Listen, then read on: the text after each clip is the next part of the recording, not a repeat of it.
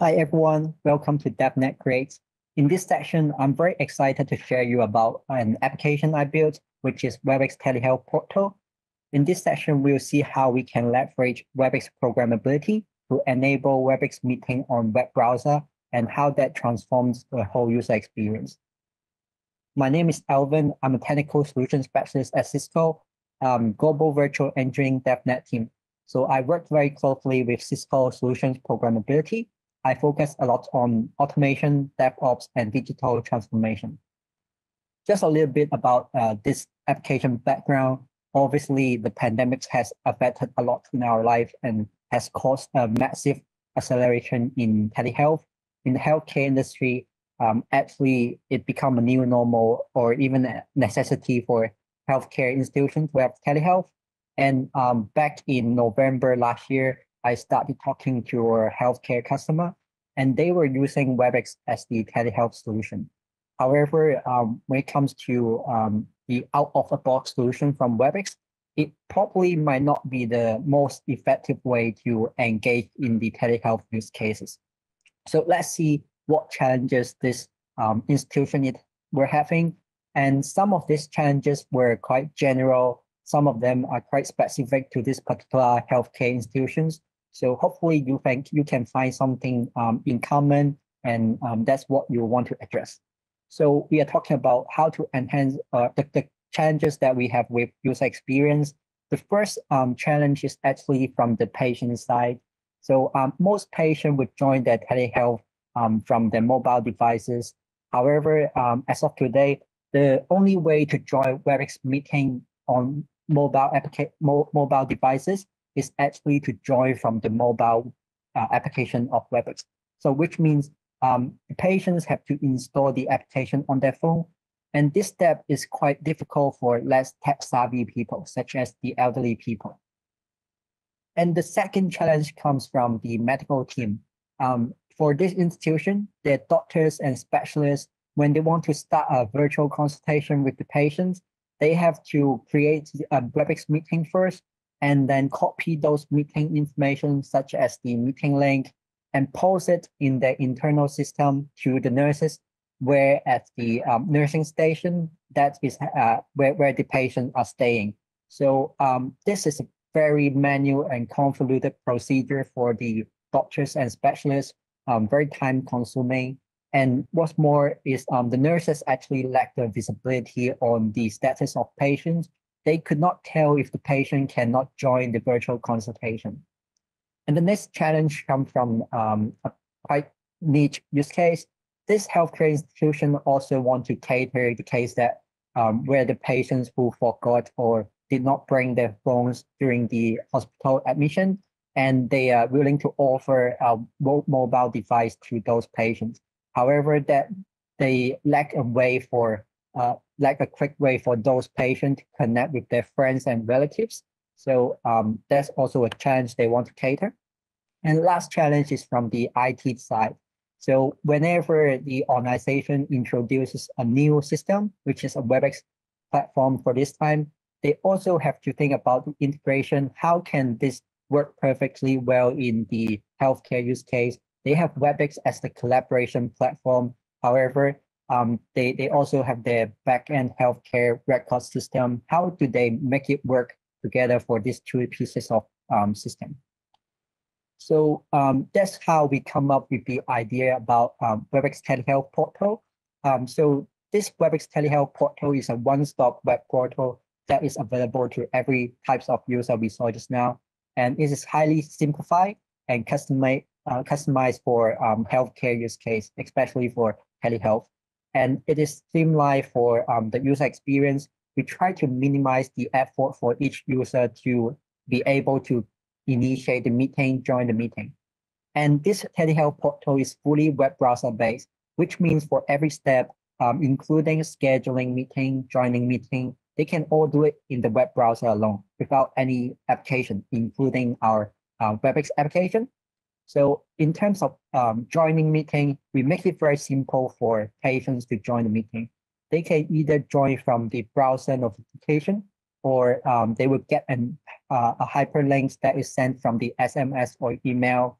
and just one link to push, they can go to the telehealth portal and have a meeting.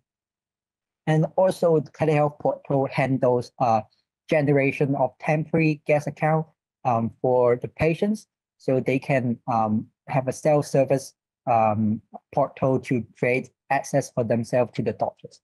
And um, this page, this telehealth portal also automates the status update from the patients to um, the frontline medical team. So the nurses can actually have the visibility on the patient um, status. So this is our um, solution high-level diagram. In the middle is our web engine, which bridge every component of this solution. And we have Express.js as the um, web front uh, web framework, and then we also have Flutter as the template engine. And we, uh, even though we do not use the WebEx application itself, we do need WebEx for the, all the collaboration technology, the video conference, conferencing capabilities. And we also use Twilio and email, Gmail as SMS and email gateway respectively. And for um, highlight here, I do want to mention um, we have a database um, in MongoDB, but the more important thing is um, we can try to integrate it with the um, patient records, which for healthcare industry usually refer to PMR or EHR, patient management record or electronic health um, record. So with those records, they contain the patient's information such as name, medical identifier, and also the contact information. So with this uh, kind of integration, the telehealth portal can also authenticate the identity of the patient. And here comes to the very three key components from WebEx that enable the whole telehealth portal. And the first one is WebEx SDK. The application is using WebEx widget um, primarily, and which is built with the WebEx browser SDK. Basically, it allows us to join the WebEx meeting fully from the browser without any external application, without any external plugins on the browser. And it is JavaScript and WebRTC based, so it's fairly easy for us to embed it in the web application and um, the web browser. The most important thing is um, it's very developer friendly.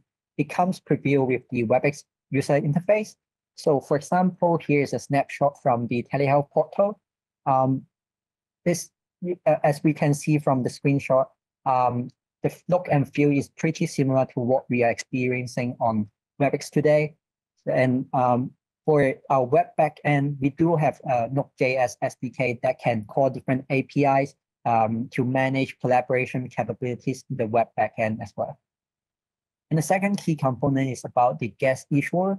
So guest issuer grants um, our application permission to create different, uh, to create the temporary guest account for patients. And um, this is a perfect use case because those temporary account is accessible to um, regular user within the WebEx organization. So for patients to doctor communication, patient would be holding the temporary account and doctors would be the regular user. So, and, and as well, the expiration time can be specified. So it's really a perfect fit for such a use case. And last but not least, we also utilize the WebEx bot, which uh, helps automate tasks and notification.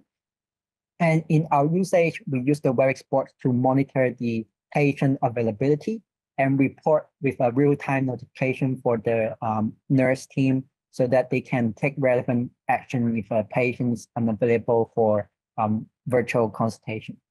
So um, after consolidating all the requirements with that um, healthcare institution and see what is possible with WebEx, we narrow down to three use cases that we cover in this application. The first one is inpatient consultation, which is the ad hoc one-to-one meeting. And the second is the um, outpatient consultation, which is scheduled one-to-one meeting. The last use case is about guest visit, which is an ad hoc multi-party meeting. The first use case, inpatient consultation, um, we will cover the detailed workflow. The first thing patient need to do, of course, is to register at the telehealth portal and remember, we integrate with the PMR or EHR so that um, the identity for patients can be authenticated. And once that step is done, um, patient is on board and got a guest account. Um, doctor can initiate a meeting and a real-time notification sent by the web browser or SMS or email, depending on the um, patient information, to be sent to notify the patient for consultation. And once both parties join the telehealth portal, they can meet um, with the WebEx capability on the web browser. So in case the patient is unavailable for um, virtual consultation, our WebEx bot will send a real-time notification to a group of relevant nurse, let's say the nurses that is um, in charge of the medical ward. Um, so the nurse can um, wake the patient if they fall asleep or um, try to make him or her available for the um, consultation. The second use case is about outpatient consultation. Um, it's pretty similar to what we have just now. Um, so for outpatient, doctor can initiate the consultation by specifying the date and time. And then um, the patient will receive an SMS or email for um, that um, uh, outpatient consultation. And that link within the message um, only work when the scheduled time is come. And when the scheduled time comes, just both parties jump on the web browser and meet again in the web uh, telehealth portal. And the last use case about guest visit and recorded, this is for um, an inpatient who do not have a phone with him or her, and then the hospital is offering a mobile device. And simply the inpatient can register the guest information, um, for example, the phone number and email, and then um, patient can choose to invite which guest to um, get into this guest room. And the guest will get a notification from SMS or email. And finally, they again can have a multi-party um, meeting in within the telehealth portal. So um, here comes our demo. And before we just started, um, just to quickly introduce the layout here, we are currently we are looking at the interface for um, doctors or specialists for the telehealth portal. And then we also have a picture-in-picture mobile phone screen that is referring to the patient's um, um, screen as well. Let's get started. First, look at the um, our very first use case, inpatient consultation. And we have John. John is an inpatient with his phone number registered in the backend uh, medical healthcare uh, system and we can see John register his um, with his own detail, name, and medical ID at the telehealth portal. At the same time, a guest account is already created in the backend for John. And John can now settle down in the medical ward and wait for Dr. Alvin's calling. And we can see from the um, doctor's side, um, Alvin already initiated a meeting with um, John. Immediately, John received an SMS with who is calling and also a web link um, so as you can see, when John clicks on the web link, it does not redirect to any external application and it brings John to the web browser. So within the web browser, there's also no need for external plugin. So when both parties enable the permissions required for audio and video, they can see each other and start their inpatient consultation. So we call on the um, user experience for doctor. Um, he no longer need to go through the very complicated process. So here comes the second patient, Jane. Jane is also an inpatient, but this time Jane does not have her phone registered in the backend uh, with the medical record. So um, the hospital just lent, um, loaned this mobile device for Jane. So what Jane needs to do is stay on the web browser with the enable notification. So immediately after Dr. Alvin tried to initiate an inpatient consultation with Jane, um, Jane phones actually pop up with a window on the web browser um, within the telehealth portal. So Jane can choose to accept or deny the call. Um, but to demonstrate what would happen if Jane is not available for the call, uh, Jane just did not accept it. And um, here we utilize the WebEx bot as we can see, there's an unsuccessful inpatient consultation with the respective name and for the patient and caregiver. So let's look at the second use case, outpatient consultation. Let's say John now is discharged and Dr. Alvin will actually want to schedule a future meeting with John.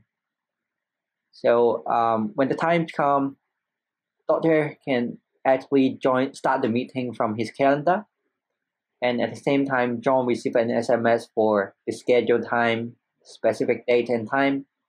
And by the same token, um, with a web link that redirect to the web browser. So think about for maybe other outpatient who has never experienced the telehealth portal. Traditionally, they have to install the WebEx application on their own, especially their outpatient. They um, there, there will be no one nearby to help um, him or her to install the application. That could be quite difficult. So with the web um, browser approach, it's very simple and it's very familiar with the user who is using web every day. Meanwhile, Jane is stay, still staying in the hospital, and Jane wants to utilize the guest room function to have a guest visit. So when Jane clicks on the guest room button on telehealth portal, she is redirected to the page to fill in the name of the guest and also the contact of the guest. So the contact here can be either phone number or email. So to illustrate, um, Jane invited John to her guest room. And um, again, Jane can simply um, enable the permission and wait in her guest room. And the email comes in for John. Let's see how John can join. So similarly, to minimize the user input and make it as simple as pos possible for, for every user, um, to join the guest room, there's no um, credentials or uh, any user input required. Sim as simple as just clicking the web link, John is able to join in the guest room. So that's um, wrap up the demo. So in summary, we look how we can, from the um, application design perspective, utilize a web-based um, WebEx uh, meeting capability to transform the whole user experience, make it easier, make it more user-friendly for um, patient-doctor communication in telehealth use case. So my call to action is basically um, try to look at the WebEx for developers page, um, webex.developer.webex.com, uh, and there the most fantastic thing is all sort of um, technology we discussed today, including the SDK, the guest issuer, um, the widget, um, all of them are documented on this website. So you can go there and kickstart your project. And the next thing about is the WebEx SDK documentation. And also, if you're interested to look at the source code for this telehealth portal, you can go on Code Exchange and find this use case. So this is the end of my session, and thank you for joining